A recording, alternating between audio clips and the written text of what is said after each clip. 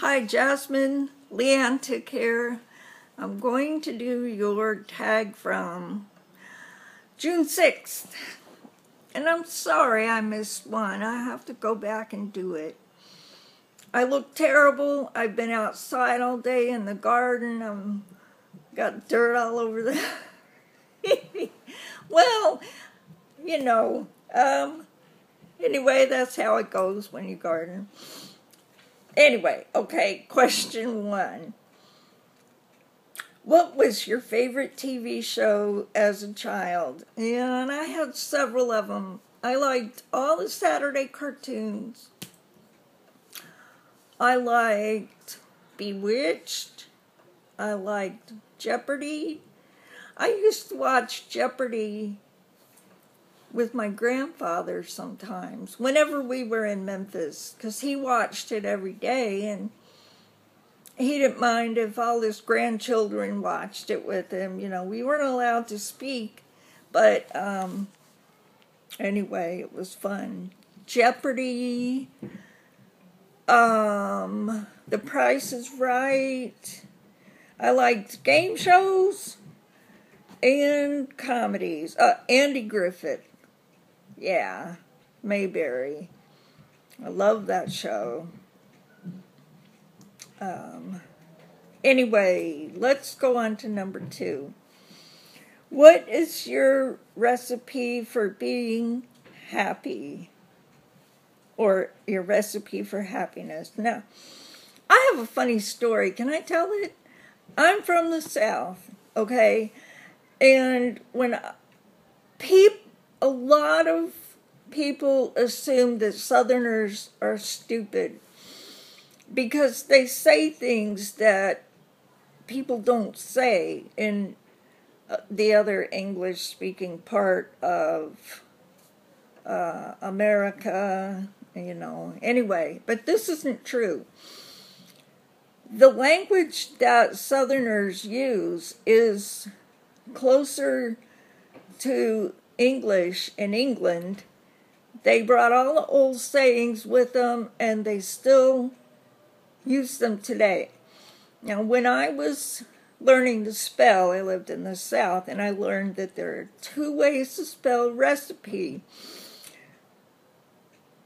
The way you spelled it, R E C I P E, and receipt.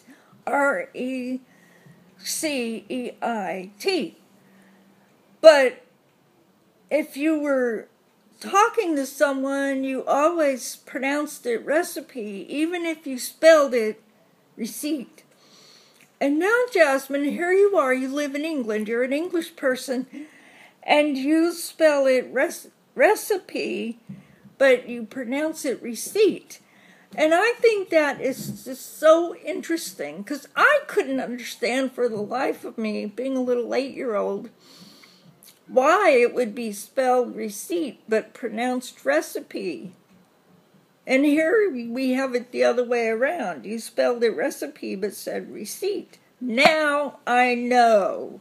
And um, so, anyway, my recipe for happiness is boring the shit out of everybody. No, I'm just kidding. I'm just kidding. Um, that is one thing I like to do, but um, just find things that make me happy, like gardening or art or hanging with the fam studying, doing research. I would be in school every day if I could. Okay. Number three, have you ever purchased a voodoo doll?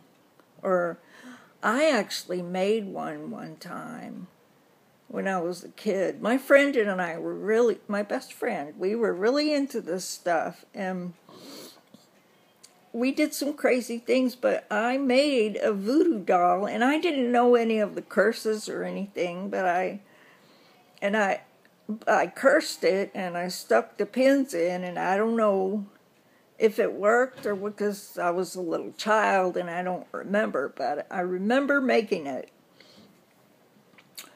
Number four, name something you had as a child and wish you still have that it's worth money now.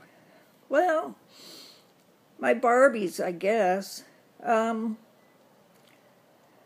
one of our family friends started collecting Barbies when we brought our Barbie dolls with us for a visit.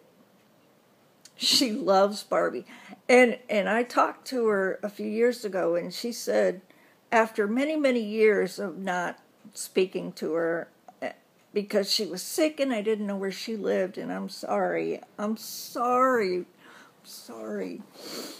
She said she got so serious about Barbie that she went to fashion conventions.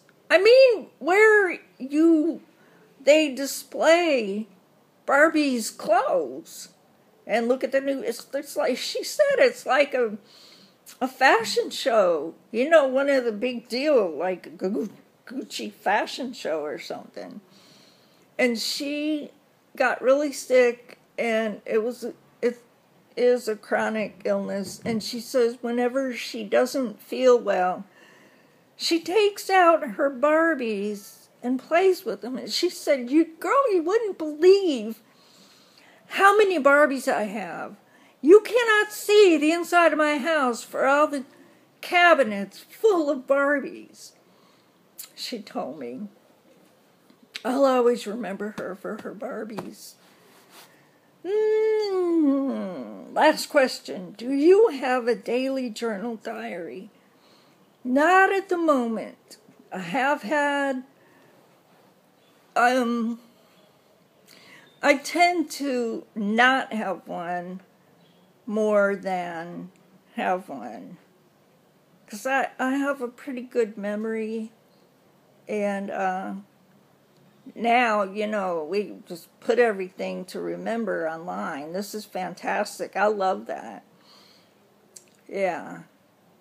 Anyway, there you go, and I will look for your vlog, your um, tag from last week and get that done sometime real soon. I promise. I promise.